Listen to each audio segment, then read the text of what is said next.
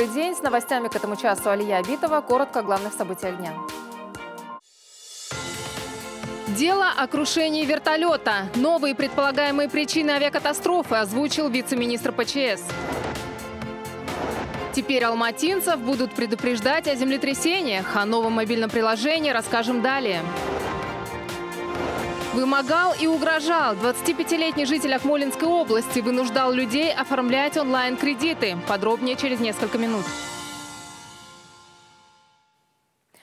Плохие погодные условия могли стать причиной падения вертолета «Казавиаспас». Об этом сообщил вице-министр ПЧС Мерекеп Шимбаев. Вертолет, упавший в западно-казахстанской области, находился в эксплуатации всего год и был в хорошем техническом состоянии, подчеркнул чиновник. Напомню, что трагедия унесла жизни четырех сотрудников «Казавиаспаса». Двое человек, находившихся на борту, выжили.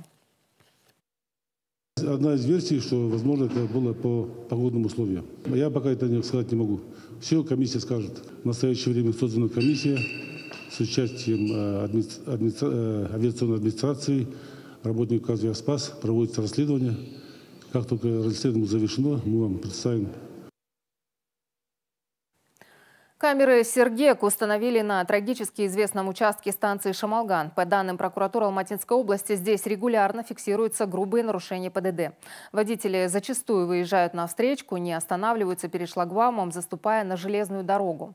Только за прошлый месяц стражи порядка выявили свыше 150 нарушений в сфере обеспечения безопасности дорожного движения. Напомню, в сентябре 2019-го поезд столкнулся с автобусом на переезде Шамалган.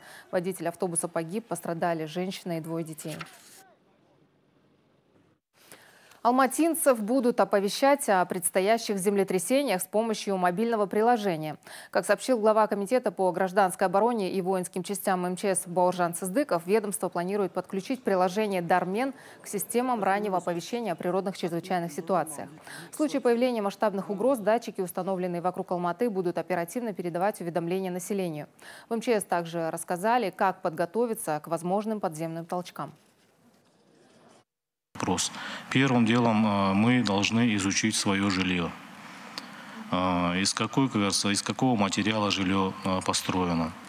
Какие в жилье есть безопасные места. Это вот капитальные, скажем так, стены, да? несущие, говорят, стены.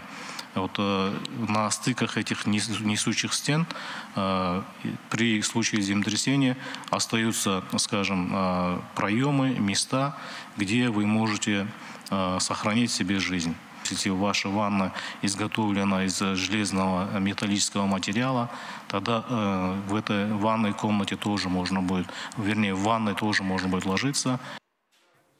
По данным МЧС, в прошлом году в нашей стране провели порядка 27 тысяч сейсмотренировок. Спасатели выпустили свыше четырех наглядных обучающих материалов и порядка трех тысяч видеороликов на тему безопасности. В ведомстве призвали казахстанцев ознакомиться с правилами безопасного поведения как дома, так и на улице. 25-летний житель Акмолинской области вынуждал людей оформлять онлайн-кредиты через мобильное приложение и угрозами забирал деньги. Стражи порядка задержали вымогателя с поличным. На сегодня известно о четырех фактах оформления кредитов против воли потерпевших в городах Щучинск и Кокшетау. При этом сумма ущерба варьируется от 250 тысяч до полутора миллиона тенге. Полицейские завели уголовное дело по статье «Вымогательство». Фигуранта дела на период следствия задержали. В Алматы простились с музыкантом Дархан Джаз, передает закон КИЗ. Его похоронили недалеко от могилы знаменитого певца Батырхана Шукенова и многих других выдающихся людей. Проводить последний путь любимого исполнителя на кладбище Кинсай-2 сегодня пришли десятки людей и фанатов.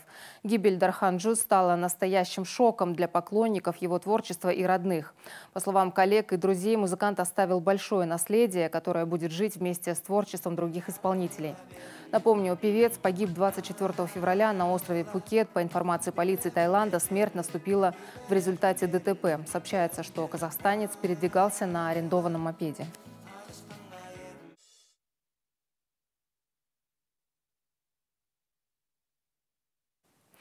Президент Касымжумарт Тукаев поздравил казахстанцев с Днем Благодарности. Он отметил, что этот день напоминает о том, что в самые тяжелые времена народ сохранял единство и сплоченность.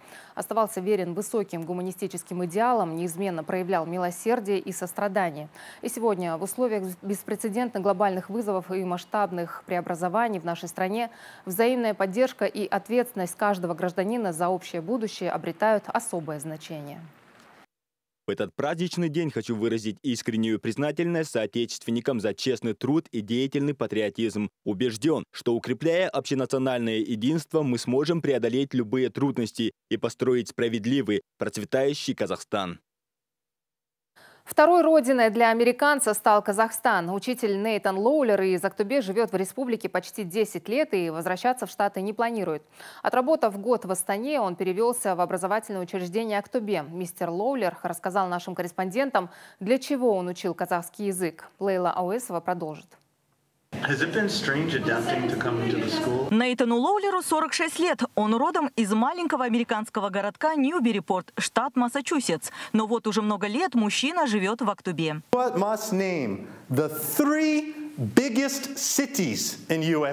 Педагог преподает английский язык в одной из актюбинских школ. Старается делать все возможное, чтобы детям было интересно. Его подопечные с особой теплотой отзываются о своем учителе. Я полюбил английский язык. На его уроках очень интересно. И потому, не потому что там он какие-то интересные задания, просто уроки всегда проходят не однообразно. На каждом уроке он придумывает что-то новое, какие-то новые задания, и он очень часто и очень хорошо их э, интегрирует в нашу тему урока. И на самом деле уроки у него очень интересные, так как он сам очень позитивный человек. И когда объясняет задания, он прям детально подходит каждому ученику и в конце дает каждому отдельный фидбэк. И в целом ученики достигают хороших результатов.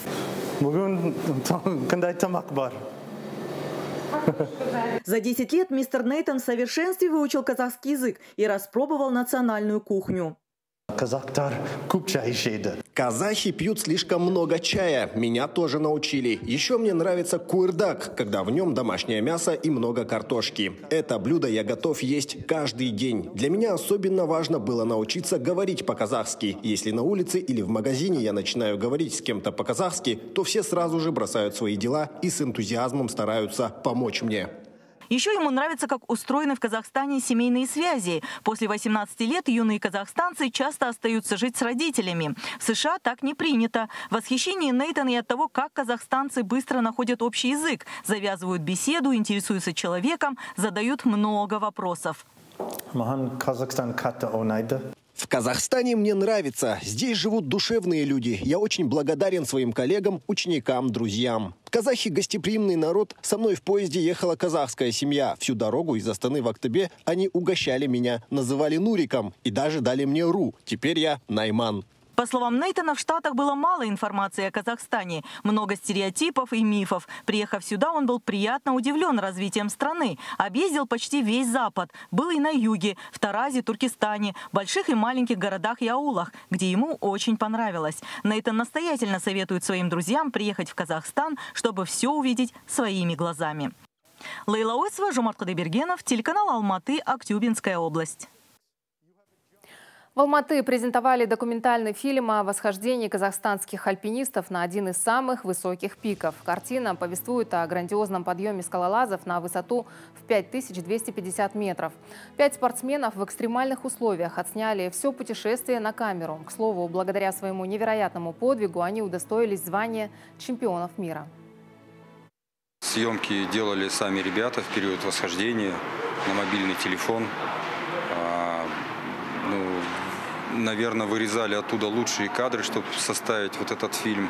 Плюс еще а, в этом районе, в районе восхождения были ребята из Красноярска, наши друзья. Они использовали съемки с дрона. Между тем, в одном из алматинских вузов продолжают оказывать активную поддержку казахстанским скалолазам. Специально для этого в университете открыли секцию альпинизма. Исторически э, Сатпаев университет является э, как бы альма-матром для альпинистов. И многие именитые наши чемпионы горновосходителей, в том числе на самые высокие вершины мира, это выпускники нашего университета.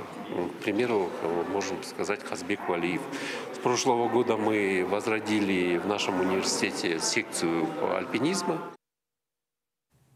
Это все новости к данному часу. Более подробно о событиях дня смотрите в итоговом выпуске новостей в 19.30. Оставайтесь с нами.